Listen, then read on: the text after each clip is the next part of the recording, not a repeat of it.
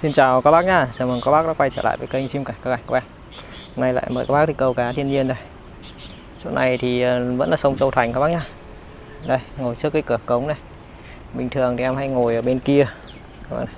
Nhưng hôm nay có cần thủ ngồi rồi Nên là mình ờ, sang bên này. Lối vào cái này thì nó hơi khó khăn các bác Đây, cái đường rậm lắm. Xong rồi đi qua cái lưới thép gai của người dân rồi mình vào đây anh em chú ý là vào câu ở những cái điểm này thì anh em đừng bẻ cây các kiểu nhé đừng bẻ cây hay là phá hoại cây cối. Không là, nói chung là mang tiếng dân câu ấy. Mình thì chắc là người ta không bắt được nhưng mà cần thủ khác mà câu là người ta sẽ thấy người ta cũng không không thích, người ta trực đấy. Trước em bị một trường hợp như vậy rồi.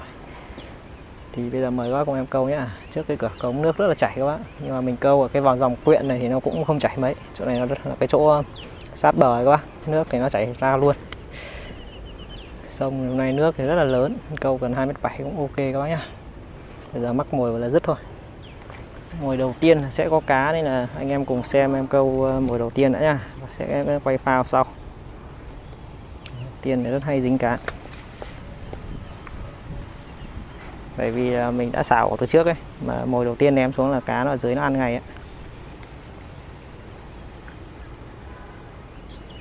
Mỗi lần đi câu thì trí nó ít nó mồi ờ, ném xuống là mồi xả.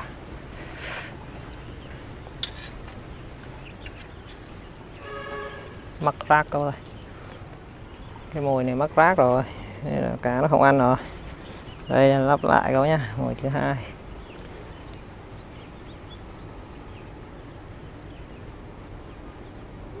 Cái này thì cũng nhiều rác, cành cây các kiểu quá. Vì cửa cống này nó trôi thì những cái rác nó sẽ giạt hết vào hết vào cạnh bờ. Mình câu cần ngắn là mình dính rồi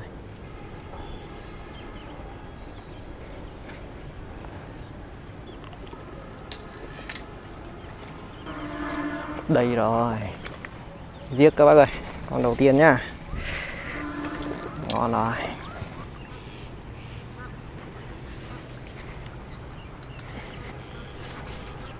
Cá đây rồi. Mất hình phao các bác ơi, là con chép cái sông này nó làm chép con các bạn đấy, rất nhiều chép con.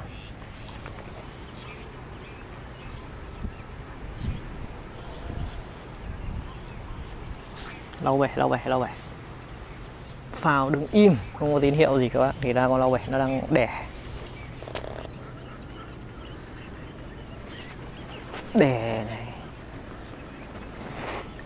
Biết ngay là lau bể. rồi tiên là phải dọn sạch cái lau thấy đã rồi câu cá khác.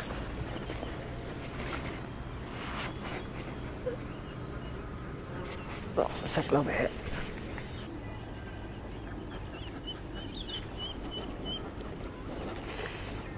trời ơi.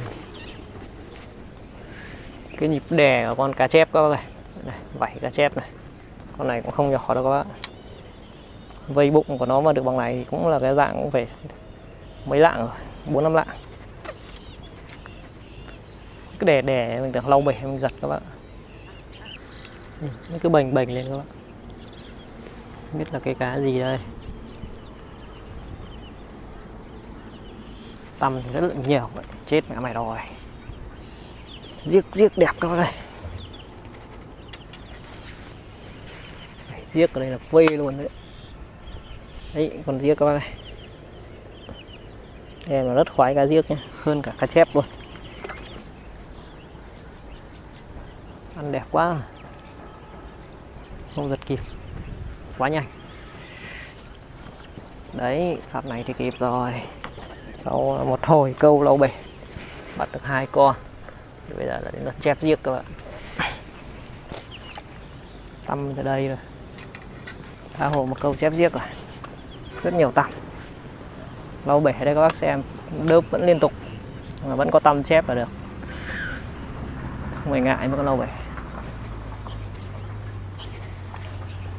Bắt được con lau bể nào thì cũng tốt. Bắt được vứt nó lên bờ cho nó chết đi các bạn. Là mình đã góp góp phần tiêu diệt đi một loài có hại. Đấy, tiếp tục cá chép các bạn ơi. Gãy liên tục. Nó hơi nhỏ đây chép vào cái sông này nó hơi nhỏ. Các bạn sẽ được xem dí điện này. Đấy.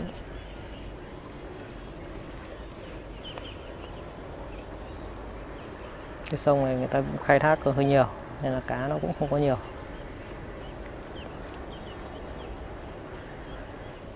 Đây, nó rất nhiều những đội đánh kích. Chứ không chỉ có hai cái người kia, hai người kia thì gặp thường xuyên, mà ngoài hai vợ chồng kia thì còn rất là nhiều của người khác.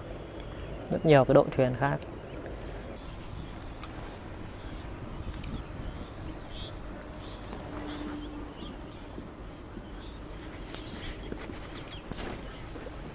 Chạy rồi. Chép các bạn ơi. Đấy, chờ mãi. Tao chờ mãi mãi. Quay phim cho anh em xem. Đấy là con chép các bạn cũng tạm tạm. Là chép rộng.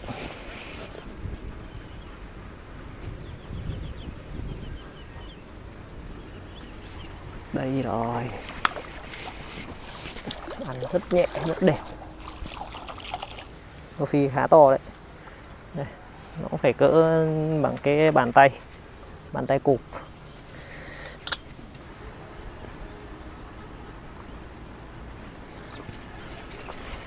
Giếc. Giếc cũng là thành phần ăn đẹp.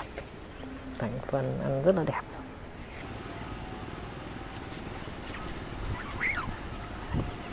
Rác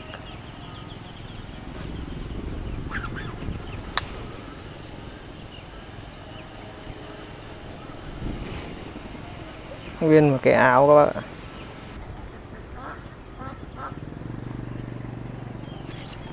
Đấy chặt rồi. Chép các bác ơi. Chép các bạn chép nhỏ.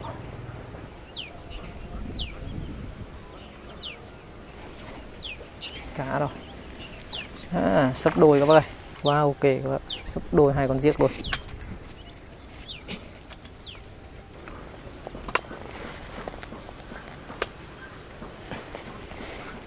Cá mương nhiều lắm các bác.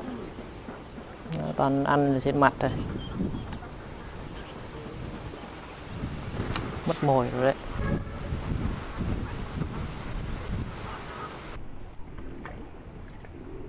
Lại có một con lau bể trong ổ. Sao mà bắt được nó lên thì câu với được cá khác.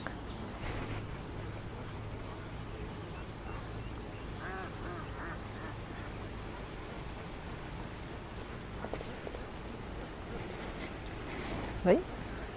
Còn cá mương này các bác này. Cái loại mà chưa thả đã mất phào này. Chưa thả đã bệnh phào kết thúc buổi câu thôi các bác ơi. Bây giờ em xin phép vào kéo cá cho các bác cùng xem nhá. Nay đi câu ở đây thì xác định là cá nó không được to các bác. Câu cũng đa số là chép giết bé thôi. Rất là nhiều. Đây, cái này phải cỡ đôi cân cá các bác nhé hai cân là chắc là được. Khá là nhiều. Mình sẽ nhặt lên một vài con giếc to để mang về à, kho các bạn. Giếc này mà kho thì ngon tuyệt rồi. Đấy. còn giếc bé này, chép này, rô này, cũng thả đi các bạn. Khá là nhiều.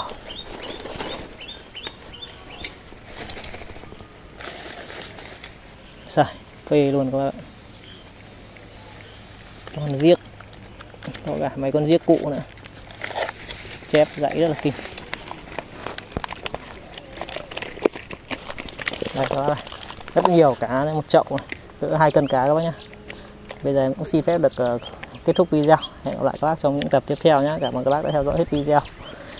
Chúc các bác có một buổi tối thật vui vẻ. Các bác thấy hay thì em xin một uh, like và một đăng ký kênh các bác nhá.